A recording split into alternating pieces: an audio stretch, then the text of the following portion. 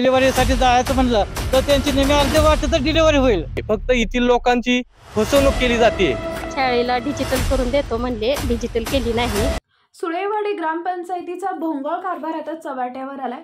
गावात ग्रामपंचायतीच्या नागरिकांसाठी पिण्याच्या पाण्याचा फिल्टर असूनही तो धूळ खात पडलाय. याकडे ग्रामपंचायतीनं दुर्लक्ष केले तसेच इरकर वस्ती या ठिकाणी प्राथमिक शाळेच्या विद्यार्थ्यांना शौचालयाची व्यवस्था नसल्याने विद्यार्थ्यांना त्रास सहन करावा लागत आहे. तसेच गावातील इतर कामे मंजूर असूनही ती अद्याप कामे पूर्ण करण्यात ग्रामपंचायत अयशस्वी ठरत असल्याचा आरोप ग्रामस्थांनी केलाय. याबाबत विक्रम सुळे यांनी वेळोवेळी संबंधित अधिकाऱ्यांशी पाठपुरावा करूनही आतापर्यंत कोणत्याही कामाची दखल घेतली नाही. पाहुयात या संदर्भात मानदेश प्राईमचा स्पेशल रिपोर्ट नमस्कार स्वागत आहे तुमचं मानदेश प्राईममध्ये सध्या आपण माळशिरस तालुक्यातील सुळेवाडी या गावातील इरकर वस्ती या ठिकाणी आहे. या गावातील लोकप्रतिनिधींनी या गावातील विकास कामं केलेली नाहीत असा येथील ग्रामस्थांचा आरोप आहे. येथील ग्रामस्थांनी आमरण उपोषणाचा इशारा दिलाय. नक्की काय प्रकार आहे आपण जाणून घेणार आहोत. आपल्यासोबत ग्रामस्थ आहेत.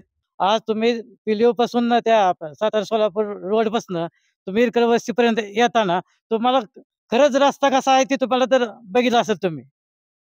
पूर्ण असा की सत्ताधारी पक्षाने पूर्ण नुकत असं म्हणायला लागेल की दगडच नेऊन तर टाकलेले झाला या पहिला आम्ही चांगल्या रस्त्यातच जात होतो. आता सध्या त्या सत्ताधारी पक्षाने ना पूर्ण दगड नेली त्याच्या मुरून टाकलं. आता बघितलं तर सध्या ते पूर्ण खडी उगा असे वर निघून गेलेले आहे. आता आमच्यासारख्या मी एक अपंग आहे. आमच्या अपंग व्यक्ती असतील माझ्या भगिनी समजा हे आपलं डिलिव्हरीसाठी जायचं म्हणलं तर त्यांची नेहमी अर्धे वाटत तर डिलिव्हरी होईल. असा एवढा बेकार रस्ता आहे आता सध्या. याने डीजेची शाळा बघितली नाही तुम्ही वर्ण वगळ आलेली ती डीजेची शाळा आमची आम्ही बघतोय. आणि ह्याने सांगितलं की तुमचं शौचालय बनवलं. शौचालय तुम्ही बघितलं असेल आता जाऊन किंवा आपण जाऊन बघूया की शौचालय नुकं असं पडलेल्या परिस्थितीत आहे. नुकं त्याने रंगरंगोटी रंग रंगोटी केली आणि नुकं त्याच्यावर बिलं काढली. आणि आम्ही सांगितलं की शौचालय बनवलं. मी ग्रामसेवकला सरपंचाला सतत बोललो तर आम्ही त्याची दखल घेऊ म्हणली आम्ही हे करतो म्हणली.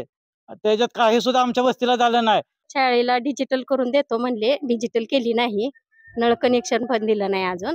शाळा दुरुस्ती करतो म्हणले कलर बाहेरून. फरशे नाही फरशीच्या ऐवजी त्यांनी भिंत बांधून दिली. ते आमचं काम केलंय त्यांनी. बाकी डिजिटल फक्त करून द्यायची आहे शाळा शौचालय बांधून द्यायचं आहे शौचालय नसल्यामुळे मुलांना बाहेर जाण्याला गवत वगैरे असल्यामुळे गवतात जाताना मुलांना विंचू काटा चावल्याचा त्रास होईल. म्हणून शौचालय असलं पाहिजे. फक्त येथील लोकांची फसवणूक केली जाते आणि गोरगरिबांना न्याय दिला जात नाही. तर आमची एकच विनंती आहे की येथील लोकांना सत्ताधारी पार्टीने आजपर्यंत कोणत्याही शासकीय योजनांचा लाभ मिळवून दिलेला नाहीये. तर आम्ही या ठिकाणी शेवटी एवढंच बोलतो जर येथील लोकांना गोरगरीब जनतेला इतका त्रास होत असेल तर यानंतर आमचा पुढचा विषय असा असेल तर आम्ही अमरण उपोषण पूर्ण इरकर वस्ती तहसील कार्यालयासमोर अमरण उपोषणाचं आम्ही एक आंदोलन त्या ठिकाणी उपस्थित करणार आहोत. पंचायतीत दहा वेळा ओरडलं फक्त बिल देत नाही ती बिल भरत नाही ती म्हणून लाइट कलेक्शन कट आहे म्हणून सांगत बसते ती. जवळजवळ एक कोटीच्या आसपास अंदाजे भ्रष्टाचार या ठिकाणी चालू आहे. माझी एकच विनंती आहे चालू सत्ताधारी पार्टीने या ठिकाणी फार मोठ्या प्रमाणात भ्रष्टाचार केलेला आहे. कोणतंही काम व्यवस्थितरित्या केलेलं नाहीये. जलजीवन योजनेअंतर्गत शासनाने ज्या स्कीमा राबवल्या आहेत घरोघरी पाण्याची स्कीम दिलेली आहे ती अजून लोकांपर्यंत पोहोचलेली नाहीये. माणदेश प्राईम. सबस्क्राईब करा आणि अपडेट रहा. नवीन व्हिडिओच्या नोटिफिकेशनसाठी बेल आयकॉनचं बटन दाबा. धन्यवाद.